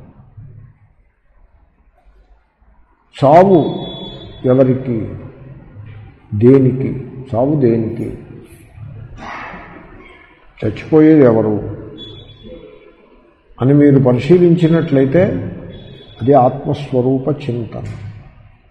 ఇన్ జనరల్ వేదాంత క్లాసు కనుక మీరు జాగ్రత్తగా శ్రవణం చేసినట్లయితే అది పరం అవ్వాలి అది ప్రయారిటీ అవ్వాలి మీకు. మీరు మిగతావన్నీ సర్దుబాటు అయిన తర్వాత శ్రవణం చేయటం కాదు. దాని అర్థం ఏంటంటే మీరు సంసారంలో బద్ధులే ఉన్నారు ఇప్పుడు నేను అన్ని పనులు అయిన తర్వాత పాఠం చెప్తానంటే పాఠాలు నడుస్తాయా? అలా కాదు. మీరు ఎక్కవలసిన ఫ్లైట్ ఇదే. ఇరవై ఫ్లైట్లు ఉంటాయి ఎయిర్పోర్ట్లో కానీ మీరు ఎక్కవలసిన ఫ్లైట్ ఒక్కటే ఉంటుంది. ధ్యాన యోగ పరహ. ఆ పరహ అంటే అర్థం అది. కొంతమంది ప్రయారిటైజేషన్ అంటూ ఉంటారు. అంటే మనం ప్రయారిటీ పెట్టుకోవాలి. ఏమిటి ప్రయారిటీ వేదాంతం ప్రయారిటీ అది అలాగే ఉంటుంది. అది ఎప్పటికీ తెమలదు ఏదో ఉంటుంది వేదాంతం ఆఫీసరు అలా కాదు. మీరు ఎయిర్పోర్ట్కి మీకు నాలుగు ఫ్లైట్లు పెట్టుకుని ఇది ప్రయారిటీ ఫ్లైట్ మిగతా మూడు కూడా సెకండ్ ప్రయారిటీ థర్డ్ ప్రయారిటీ అలా ఉంటుందండి. ఎయిర్పోర్ట్లో ఇరవై ఫ్లైట్లు ఉన్నాయి మీరు వెళ్ళేప్పటికి ఇరవై కనపడతాయి. దీంట్లో ఈ నాలుగు నాకు కావలసినవి అని ఉంటుందా? ఈ నాలుగులో ఇది ఫస్ట్ ఇది సెకండ్ థర్డ్ ఫోర్ అలా ఉంటుందా? పోనీ ఈ మూడు నావి ఇది ఫస్ట్ ఇది సెకండ్ థర్డ్ అలా ఉంటుందా పోనీ? పోనీ మూడు కాదు. ఈ రెండు నా ఫ్లైట్లు దీంట్లో ఇది ఫస్ట్ ప్రయారిటీ ఇది సెకండ్ ప్రయారిటీ. అలా ఉంటుందా? ఒకటే ఉంటుంది? మిగతావన్నీ దానికి తగ్గట్టు ఉంటాయి. సపోజ్ కాఫీ తాగాలనుకోండి ఆ ఫ్లైట్ని బట్టి కాఫీ తాగుతారా? లేకపోతే ఫ్లైట్ తర్వాత చూసుకొచ్చి ముందు కాఫీ తాగాకనే ఫ్లైట్ అంటారా? That is how it works ధ్యాన యోగ పరహ చూద్దాం. మళ్ళీ శనివారం నాడు చూద్దాం. ఓం పూర్ణముద. పూర్ణముద. పూర్ణస్య. ఓం శాంతి శాంతి శాంతి ఓం త్ర్యంబకం యజామహే సుగంధిం పుష్టివర్ధనం ఉర్వారుకమివ బంధనాన్ మృత్యోర్ముక్షీయమామృతాత్